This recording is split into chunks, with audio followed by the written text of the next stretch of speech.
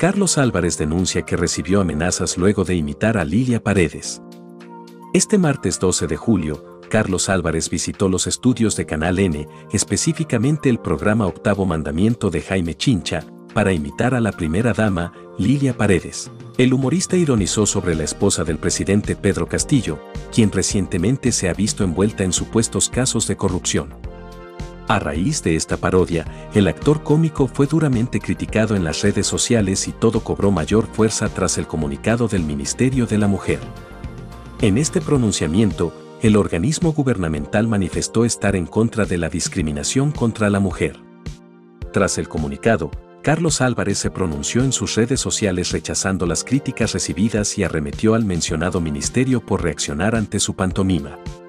Asimismo, el presentador de TV asegura que recibió amenazas en las últimas horas tras su parodia a Lilia Paredes.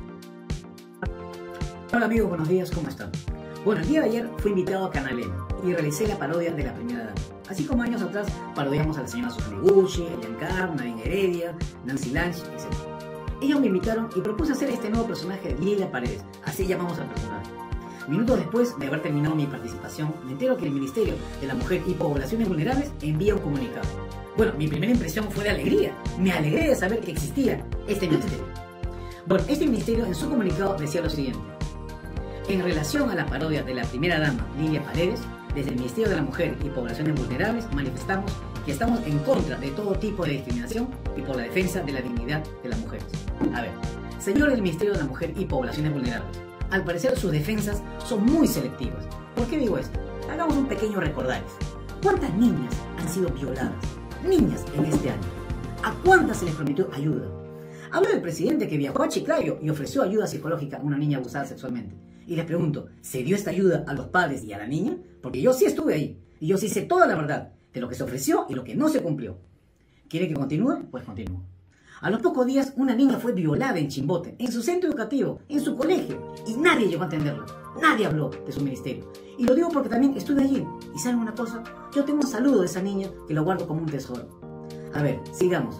Hace unas semanas una mujer secuestrada por ronderos, se dice, golpeadas, maltratadas, vejadas y colgadas como si fueran reces. ¿Dónde estuvieron ustedes?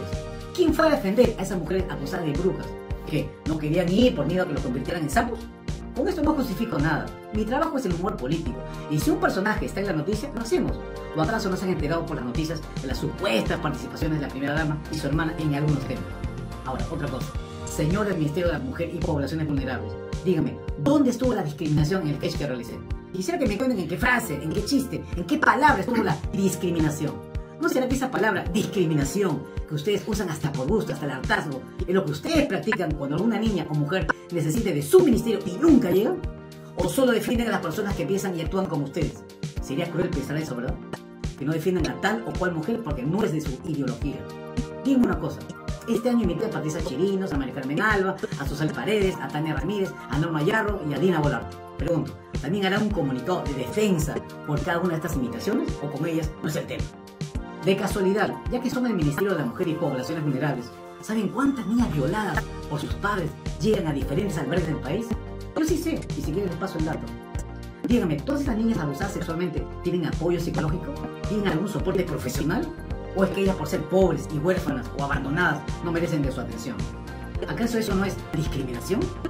Ah, verdad, ahora que recuerdo, ayudaron a Romina, la niña, la criatura la que un loco le reventó una piedra en la cabeza en la victoria. ¿Se acuerdan o no se enteraron tampoco? Y esto solo es una pequeña muestra de los miles de casos que se dan día a día en este país. ¿O es que acaso ustedes quieren discriminarme por ser humorista? Porque me han amenazado toda la noche. ¿O es que no se enteraron tampoco? ¿De qué tienen miedo? Esto es solamente humor.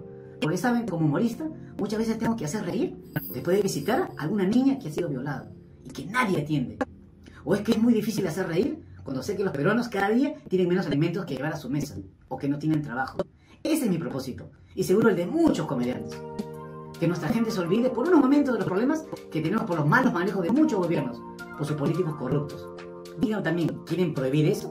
¿También al hacer humor nos quieren discriminar? Ah, ¿y qué fue de Jacqueline Zúñiga, la dama a la que el congresista Puca Bellido le pedía fotos? ¿Ya la apoyaron o todavía no se han enterado del caso? Hola amigos, buenos días, ¿cómo están? Bueno, el día de ayer fui invitado a Canal N y realicé la parodia de la primera dama. Así como años atrás parodiamos a la señora Susana Gucci, Elian Carr, Nadine Heredia, Nancy Lange, etc. Ellos me invitaron y propuse hacer este nuevo personaje de Lila Paredes, así llamamos al personaje. Minutos después de haber terminado mi participación, me entero que el Ministerio de la Mujer y Poblaciones Vulnerables envía un comunicado. Bueno, mi primera impresión fue de alegría. Me alegré de saber que existía este ministerio.